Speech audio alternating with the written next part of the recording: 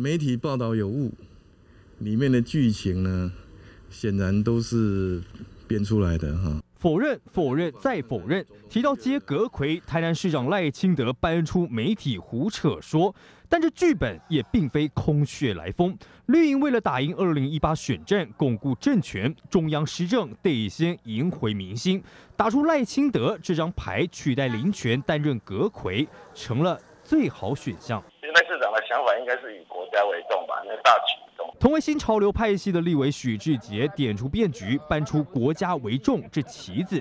赖清德点头的机会可能不是没有，但这张牌一出，牵动的却是民进党内部微妙的政治变化。我他会接的话，是基于新潮流跟蔡英文的对弈，也就是他们的争斗之间啊的产物了。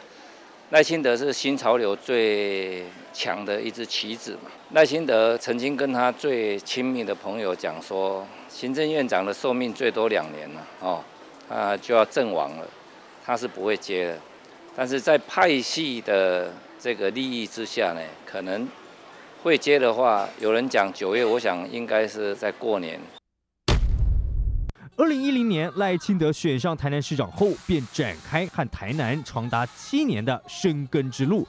如今若要北上接阁魁，这派系人马是否也要重新盘算？行政院长有一定程度的机要人员任用，如果我的理解没有错，大概是五六位这个事务人员之外，还能够帮他布局台北或新北，这未免人数也太少了吧？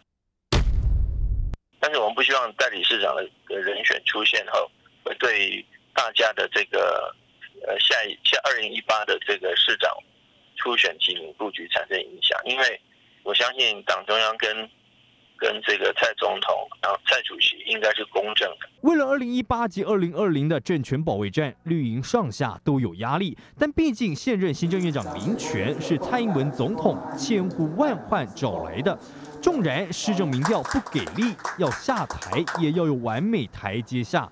一旦赖清德点头接下阁魁，受命筹组战斗内阁，未来如何利用个人魅力拉升蔡政府民调，将成为赖清德能否一路向上的关键挑战。